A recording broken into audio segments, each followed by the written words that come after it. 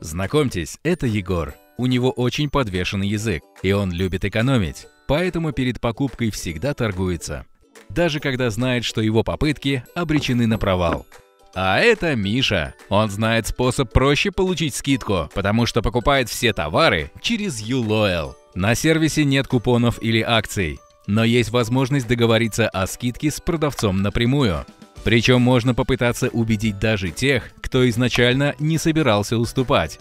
К примеру, Миша выбирает себе новенький смартфон. Ему приглянулась модель за 20 тысяч рублей, но это практически все его сбережения. А ведь у него есть и другие планы.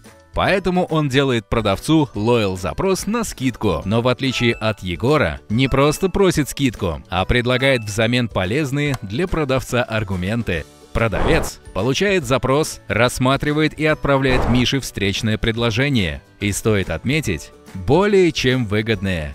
Поэтому Миша его одобряет и покупает телефон. В результате доволен и покупатель, и продавец.